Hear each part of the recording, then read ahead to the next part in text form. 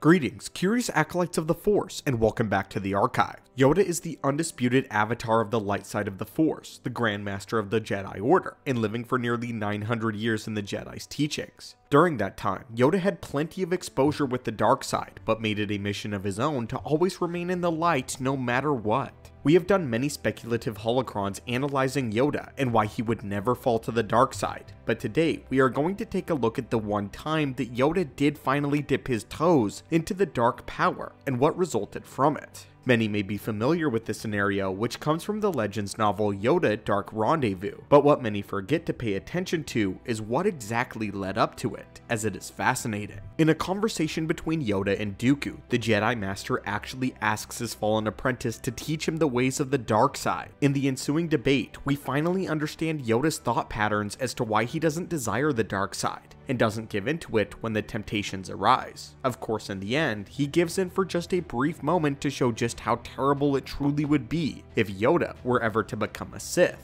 But then, Yoda pulls back, proving once and for all that the dark side isn't stronger, and we can hardly wait any longer, so let's review this holotape. Our scene is set on the world of Vjun. A daring mission has led Yoda right to the front door of Count Dooku's palace, or rather should I say, the window. Yoda comes right through the window and into Dooku's personal office. However, something is distinctly different about this interaction than the one before on Geonosis. No Force Lightning and no lightsabers this time. Both of these masters know that it would just be a waste of time. Rather, they actually sit down and have something of a cordial discussion. In fact, Yoda doesn't even come right out of the gate talking about the elephant in the room. Instead, they just start talking about Dooku's childhood and the roses outside in the garden. This whole time, Yoda is the one who is totally relaxed, and Dooku is the one who is on edge, as the tension rises. Unsure of what the old master is planning, finally, Dooku cuts right to the chase and gives Yoda a spiel about how the Jedi are being puppets of the Senate.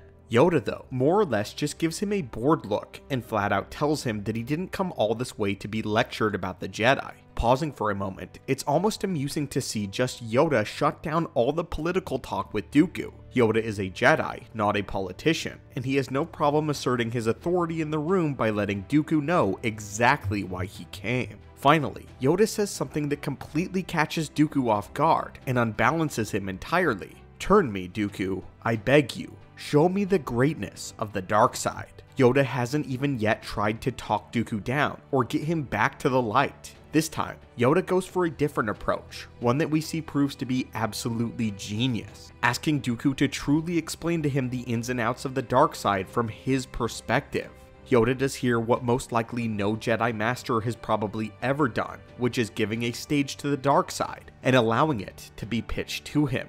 Yoda sits and begins inquiring with pure curiosity, humbling himself down to being the learner to his fallen apprentice. The first thing Yoda asks is, Tell me if it is hard to find the power of the dark side. Dooku takes the bait, deciding to play along and to start to explain it. Dooku says this, No, the lore of the Sith though, that is another matter. But to touch the power of the dark side to begin with and begin to know it, all you have to do is to allow yourself, relax. We carry the dark side within ourselves. He goes on to talk about how the dark side is merely the second half to the Force that makes it whole, a perspective that encompasses everything the Force has to offer. He finishes by saying, To know the dark side is merely to stop lying. Stop pretending you want what you want. Stop pretending you don't fear what you fear. Half of the day is night, Master Yoda. To see truly, you have to learn to see in the dark. Yoda muses for a moment and then surmises that what Dooku is saying is that the dark side would give him power. Dooku confirms this, and then Yoda simply responds by this.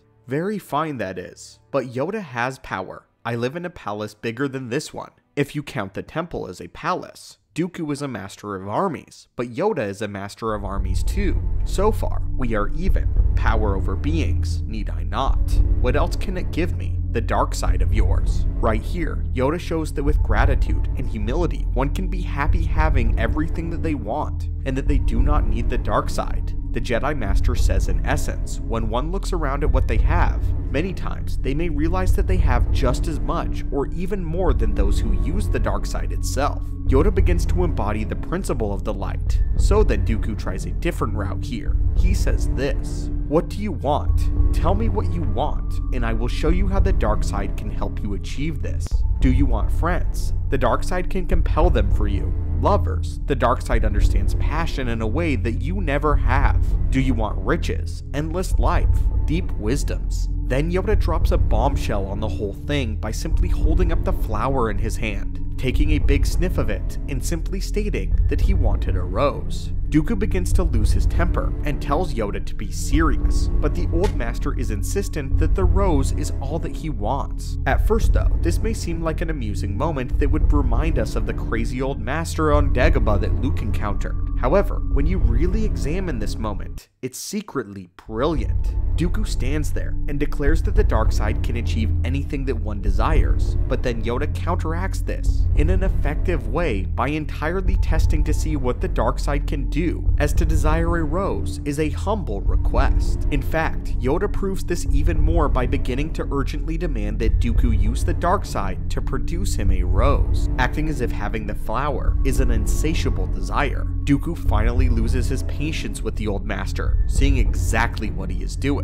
He and Yoda then start going back and forth, as Dooku tries to get him to have selfish desires. Want something else, Yoda. Want power, says Dooku. Power have I, responds Yoda, but Dooku tries again. Want wealth. Yoda again deflects it. Wealth I need not.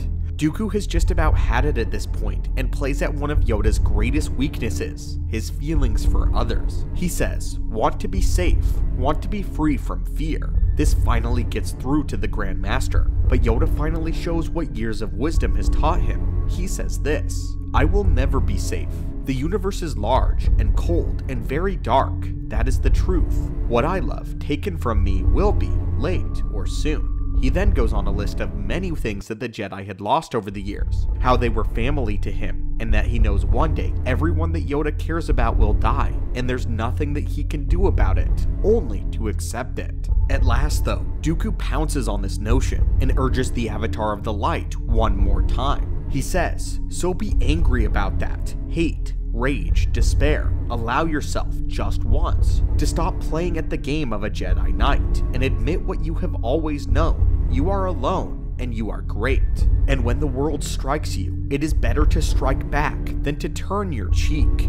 Feel Yoda. I can feel the darkness rising in you. Here, in this place, be honest for once and feel the truth of yourself. And now, the moment that we have been waiting for, Yoda begins to realize that unless he shows Dooku the errors of the dark side, he will never see the truth. Yoda also realizes that in order to gain Dooku's respect and understanding, he will have to taste the dark side for himself, only once. I also can't help but imagine that Yoda is at least a little curious and wants to see exactly why so many Jedi have fallen into the allure of the darkness. Yoda despises the dark side because of how many Jedi it has claimed, even his old apprentice and friend that stands before him. I'm almost certain that Yoda deeply wants to answer the question of why. Why have so many Jedi succumbed to this power and allowed it to completely destroy their lives and the lives of so many others? We are going to go ahead and read this final passage from the novel. The novel says this At this moment, Yoda turned, and Dooku gasped. Whether it was the play of the holomonitors beaming their views of bleak space and distant battles, or some other trick of the light, Yoda's face was deeply hidden in the shadows, mottled black and blue, so that for one terrible instant, he looked exactly like Darth Sidious. Or rather, it was Yoda as he might have been, or yet could still become. A Yoda gone rotten. A Yoda whose awesome powers had been fully and utterly unleashed by his connection to the dark side. In a flash, Dooku saw how foolish he had been, trying to urge the old master to the dark side. If Yoda ever turned that way, Sidious himself would be annihilated. The universe had yet to comprehend the kind of evil that a Jedi Knight of nearly 900 years could wield. From the shadows, Yoda snarled in a wicked, wicked voice. Give me my rose. In the end, Yoda returned from his wade into the dark side and very frankly said that he didn't desire that power. Dooku was left trembling from fear at what he had just witnessed, but Yoda actually comforts him and reminds him that his master will always be there and will always be there to catch him when he falls, and that he can always come back to the temple at any time. With that, Yoda leaves Dooku for good, leaving it up to him to make this decision. We all know that unfortunately this interaction would come to nothing since Dooku's heart remained in the darkness, but I think Yoda definitely changed something in Dooku that day. I believe that Dooku was reminded about the grand scheme of the Force rather than just through the lens of the darkness. Dooku even acknowledged that Yoda in the dark side was far more powerful and more terrible than even Sidious. Dooku even admitted that trying to urge Yoda towards the dark side had been outright foolish. But I think it is so fascinating how Yoda had completely dismantled Dooku's arguments for the dark side proving that it was no use to those who were happy with going about things the honest and hard way, rather than choosing the quick and easy paths to power. Yoda didn't even desire power, but he did state that he already had it by virtue of him remaining faithfully dedicated to the light side. The one thing that Dooku desired was for his children, the family of the Jedi, to remain safe and to remain happy. But that was one thing that Yoda had long accepted to be something that he could never achieve, which is the essence of the light. He didn't let himself become caught up in trying to do so, and rather tried to accept the will of the Force. Perhaps if Yoda had used the dark side in Order 66, he might have saved more of his Jedi, and maybe even stopped the Emperor. But at what a cost? Yoda already accepted that very soon, everything he cared about could be taken from him, and likely would be. When he let go of that attachment and accepted the inevitability of death and loss, the dark side had no way of holding him. Yoda does say that he is tempted by the dark side like everyone is, but that he knows the secrets that the dark side doesn't. And this is why he will never fall. But my friends and acolytes, tell me what you think about this incredible interaction. Do you think that Yoda should have given in to the dark side to save the Jedi from extinction, but again, at what cost? Or do you think that something far worse could have come from it? And furthermore, do you agree with what Yoda says about the dark side as a whole? Let us know in the comments down below. And as always, my friends, may the Force be with you, and I hope that you have a great day.